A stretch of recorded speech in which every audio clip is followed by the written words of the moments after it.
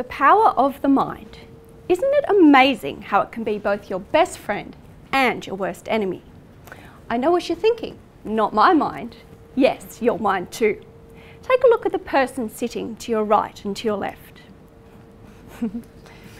Approximately half of the population will struggle with suicidal thoughts at some point in their lives. So, statistically, if that's not you, it most likely will be the person on your right or your left.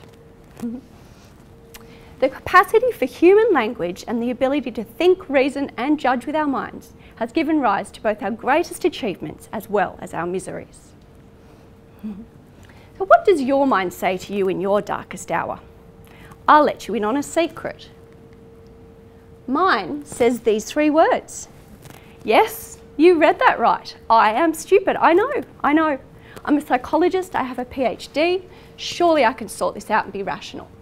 Well, research demonstrates that sometimes the more we try not to have particular thoughts, the more they show up.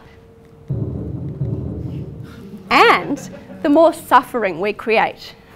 so, what does your mind say to you in your darkest hour? Any of these? This is one of life's great secrets. We are all walking around with these thoughts in some form or another. So, what can we do with such thoughts? Well, we designed a study and we asked this question Does low self esteem have to lead to worsening mental health, or does it depend on the context? Could self compassion save the day? um, self esteem can be thought of as our sense of self worth. And research does indeed demonstrate that low self esteem leads to worse outcomes across time, such as diminishing mental health, depression, and even suicidal thoughts. um, one response to such findings is to boost people's self esteem, if only it were this easy. Um, we will all suffer at times and experience hits to our self esteem.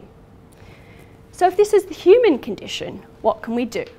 Well, self compassion may offer an alternative. Kristin Neff pioneered research in this area. Drawing on the Eastern traditions, she defined self compassion as comprising three main components. One, turning to oneself with self kindness rather than harsh criticism or judgment.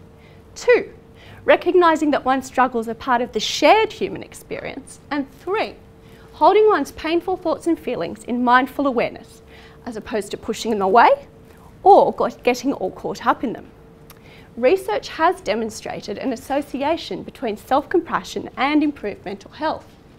However, limited research exists among young people. Our research question was, would self-compassion offer protective mental health benefits for young people who were low in self-esteem? So we surveyed 2,488 adolescents in grades 9 and again in grade 10 um, from 17 high schools. We col collected their self-report measures on the self-compassion scale, self-esteem scale and the Goldberg General Health Questionnaire, which assesses mental health distress. We undertook structural equation modelling to form latent variables from our self-report scale items. In Path 1, we examined self-esteem predicting mental health in Year 10. In Path 2, self-compassion predicting mental health in year 10. And in path three, the interaction between self-compassion and self-esteem predicting mental health in year 10. We controlled for gender as well as mental health the previous year in all our analyses. A number of findings emerged from this research. However, most interesting was a significant interaction, which did indeed demonstrate that self-compassion helps protect against the negative effects of low self-esteem.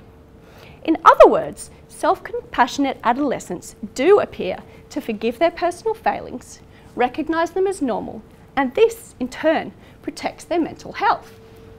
So what are the practical implications of such findings? Well, as parents or educators, you can help pass on self-compassion skills by offering up some of your own struggles. You can discuss how you respond with kindness and there's a good chance everyone's mental health may benefit. So next time you're struggling, ask yourself, what will you do? You could consider the principles of self-compassion, or you could go home and kick the cat. Thank you.